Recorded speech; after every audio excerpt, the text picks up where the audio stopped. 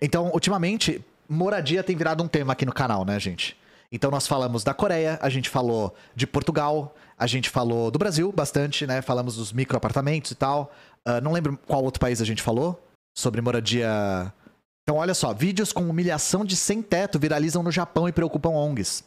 Tendência ganha cada vez mais adeptos nas redes sociais e tem gerado indignação no país por Bruno Duval, RFI. Nas redes sociais japonesas multiplicam-se vídeos em que jovens gravam sem teto sendo humilhados. O fenômeno gera indignação no país e associações de apoio às pessoas em situação de rua denunciam a cruel e nova moda. A tendência ganha cada vez mais adeptos e seguidores do YouTube e do TikTok. Em um dos seus vídeos, indivíduos sem teto são filmados dormindo em um parque. Subitamente são acordados por jovens batendo em panelas e gritando. As gravações mostram os rostos assustados e desconcertados dos moradores de rua, junto à risada dos autores. Só um adendo. Dê preferência à expressão pessoa em situação de rua, tá?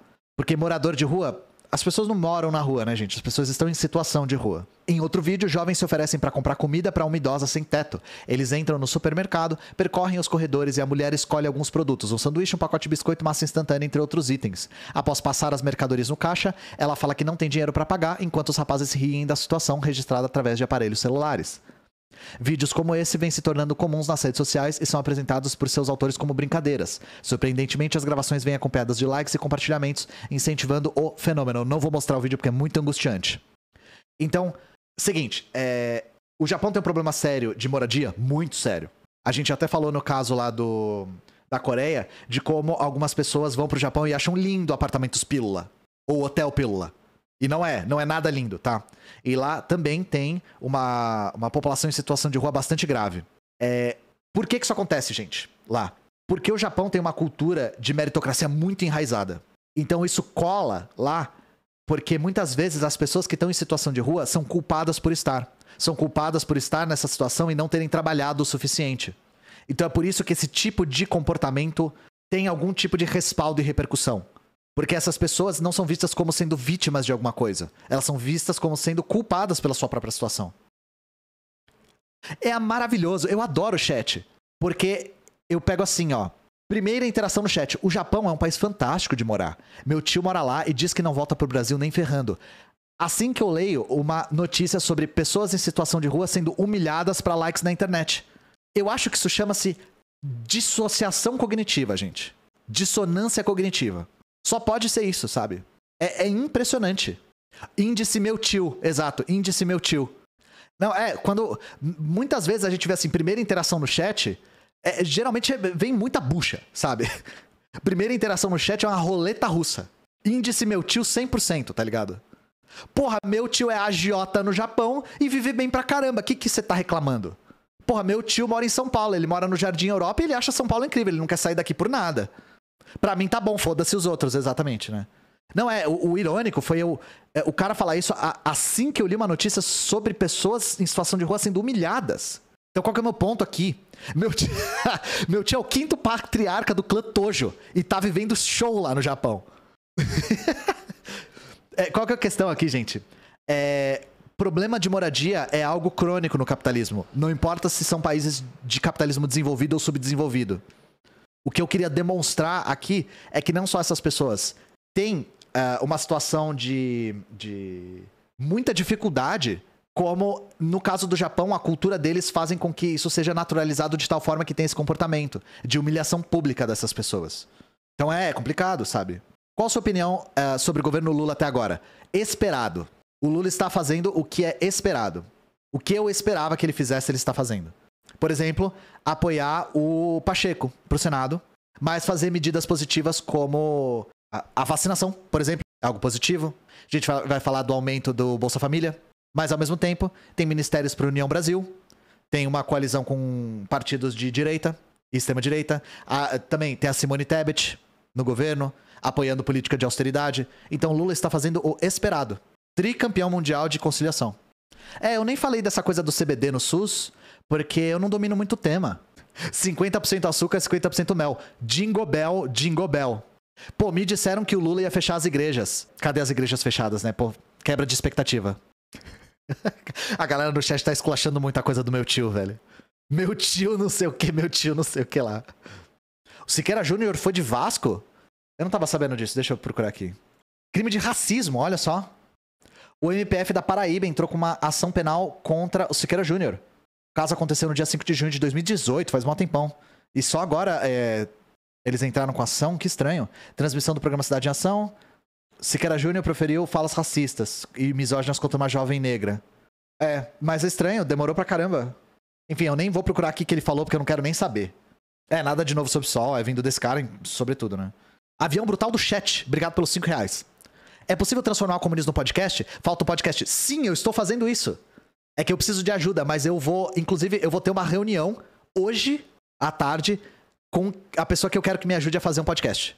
Então eu vou, eu tô pensando em transformar, eu preciso debater com a pessoa é, a respeito do formato. Mas é, Sim, eu quero fazer, e não para ganhar mais grana ou, é, ou nada disso, mas para fazer ficar mais acessível. Eu vi uma pessoa falando aí, como é que eu faço para pagar até ele continuar ouvindo Ian? É isso que eu preciso. Eu preciso de uma plataforma que dê só para escutar. Por isso que eu tô tentando, gente, descrever mais o que eu tô vendo em imagens. Porque tem gente que só escuta. E tem gente que tem impedimento de visão também, né? Então. É, eu não quero só extrair e colocar. Eu quero editar. Eu quero colocar melhor. para ficar melhor para ouvir. Mas eu vou fazer, tá? Prometo, por causa da acessibilidade. Vini, obrigado pelos 3 reais. Diga imediatamente seu álbum favorito dos Beatles. Meu álbum favorito dos Beatles. Cara, eu tive uma fase que eu gostava bastante. Acho que Revolver. É, Revolver. O Revolver é um dos que eu, que eu, acho mais, mais. É na fase que eles ainda eram amigos, né? Depois eles começaram a brigar e eu fiquei triste. Bolche Fitness Bolado, obrigado pelos 10 reais. Como saber se o socialismo no Brasil cresce em números com. com... Você escreveu concertos, mas acho que é concretos. Cara, vê a, o aumento nas fileiras dos partidos o aumento nas fileiras dos partidos é muito significativo, sabe? Porque a pessoa, para ela entrar no partido marxista-leninista, ela não vai só entrar, fazer um registro no TSE e ter o seu nomezinho guardado lá. Pessoas que entram em partidos marxistas-leninistas vão militar. E para atingir uma dessas pessoas, demanda muito trabalho de base. Censo Comunista 2023, né? Então, o crescimento dos partidos marxistas no Brasil já demonstra que o comunismo está entrando de novo no debate público e que está deixando de ser tabu, está deixando de ser um assunto encerrado. Porque antes, na década de 90, por exemplo, comunismo era um assunto encerrado, a palavra já nascia morta. Você falava comunismo, as pessoas falavam coisa ultrapassada, não deu certo. O capitalismo venceu, agora o liberalismo é a doutrina dominante. Hoje em dia, isso não é mais um assunto encerrado. Zira, só ajudando para você continuar com seu conteúdo. Obrigado pelos 10 reais. Muito obrigado pela ajuda, de verdade. E duas coisas que eu vou fazer. Eu vou fazer o podcast. Vai ser tipo como news em áudio. E eu vou voltar com força pro TikTok, tá, gente? Voltar com bastante força. É que no TikTok eu vou ficar olhando, tá? Eu, eu tô pensando em focar muito nisso, porque no TikTok eu cresci muito e o que eu tô gostando de ver no TikTok é que tem muita gente comunista boa nova. Todos os dias eu encontro algum criador de conteúdo ou criadora de conteúdo nova no TikTok e, nossa, tem muita gente muito legal, cara. O TikTok é, é um negócio, assim, que me deixa muito feliz de ser criador de conteúdo comunista na internet, sabe? Tem uma galera muito legal e, e tem muita diversidade no TikTok. Tem gente de vários lugares do Brasil, tem gente de vários pontos de perspectiva, de pontos de vista e tal. Mas eu vou pôr no quais sim. O momento que eu tava mais crescendo no TikTok era quando eu postava todos os dias. Eu e o Bonza, né? A gente postava todo dia, sem pular nenhum. Então eu preciso guardar alguns vídeos para ir soltando nos dias para eu ter uma margem para conseguir manter a rotina, sabe? Porque no, no YouTube a gente tá conseguindo criar material para todo dia, então tá dando certo já. Mas é, o TikTok é muito legal e eu gosto muito da dinâmica e quero focar nisso esse ano. Comuna Gamer, obrigado pelos 10. Vocês desenvolvem games? Sim. Queria ajudar, adoro desenvolver. Cara, entra na, na comunidade, porque nós temos a Game Jam da Luna. A Luna é membro da Soberana e ela coordena a Game Jam. Então entra lá, a gente está construindo uma, uma espécie de comunidade de criadores com temas específicos, com pessoas que sabem programar e fazer arte. É muito legal. E se você quiser entender mais, se você mandar uma mensagem para a Luna, Soviet Linux, ela responde com toda certeza. Você acha que seria legal montar um MesaCast comunista? Não sei que, que vocês acham de, do formato MesaCast, gente? Vocês não acham um formato cansativo? E vocês não acham que é um formato que tá cansando? Porque, qual que é a questão? A, a razão pela qual os MesaCasts existem em tão, tanto número é porque eles demandam baixo investimento e criam uma quantidade muito grande de conteúdo. Então, as redes sociais gostam de muita, muito conteúdo em muito, muito tempo, né? Gostam de vídeos longos e muito corte. É... E para você abrir um MesaCast, cara, uma mesa, dois microfones, uma câmera vapo, você consegue criar tranquilo pouquíssimo investimento. Pouquíssimo investimento. Então é por isso que a galera arrisca fazer. E se virou, virou. Se não virou, não tem problema, sabe? Mas aí por que, que eu não gosto? E não tem nada a ver com críticas específicas, tá? Não tenho nada contra o Podpah, as ideias, o Dessa Letra, que não é exatamente um MesaCast, mas tem um formato que é inspirado. Eu não gosto porque eu não gosto de fazer conteúdo improvisado. Eu gosto de fazer conteúdo preparado. Então, se eu fosse fazer um podcast assim, eu ia fazer um mais. com mais preparo. Mesmo se fosse ser de entrevista, eu ia mandar as perguntas antes pra pessoa, mas é, eu, fa eu faria é, preparado, porque eu particularmente gosto de coisas mais preparadas. Mas, vem aí, hein, chat? Vem aí. Nós é, vamos lançar um podcast. É que eu não, eu não sei o quanto eu posso falar ainda, que eu não consultei a nossa coordenadora de podcast da Soberana, mas a gente tá fazendo, tá? A gente escutou o que a galera falou a respeito de consumir podcast. E a gente tá fazendo um e dedicando muito tempo e muita energia nisso, tá? É uma tristeza a gente não poder compartilhar enquanto não sai. Mas eu tô muito orgulhoso disso que a gente tá fazendo. E eu adoro fazer coisas que eu gostaria de ouvir.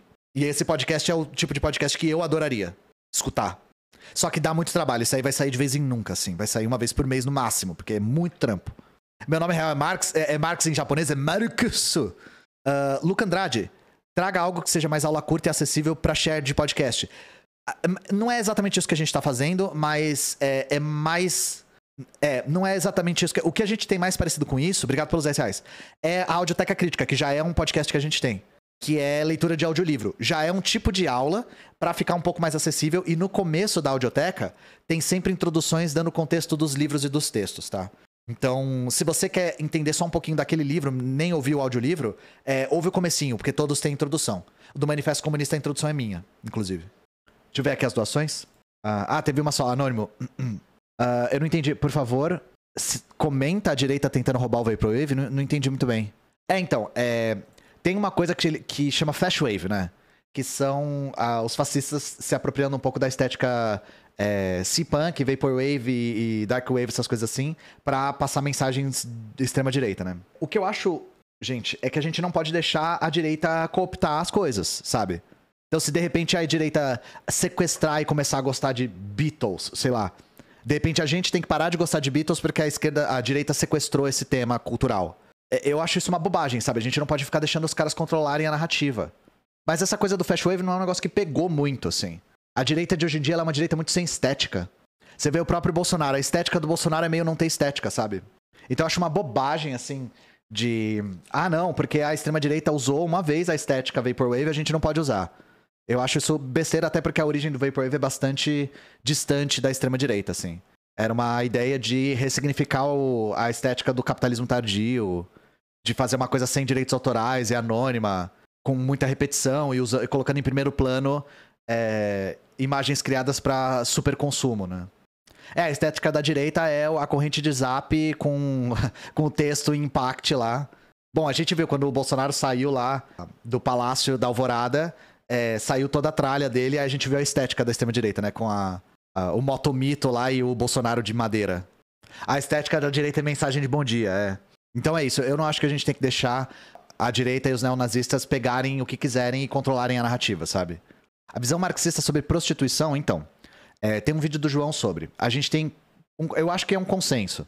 É, somos totalmente contra. Totalmente contra. Em uma sociedade emancipada, somos totalmente contra a prostituição. Mas nós não vivemos numa sociedade emancipada. Então, na nossa sociedade, que faz com que a prostituição seja a única saída para algumas pessoas, nós temos que ser a favor das prostituídas, dos prostituídos, dos direitos dessas pessoas. Então, na nossa sociedade, a nossa prioridade é lutar pelo direito de vida e de qualidade de vida dessas pessoas. Agora, nosso horizonte é que a prostituição seja erradicada.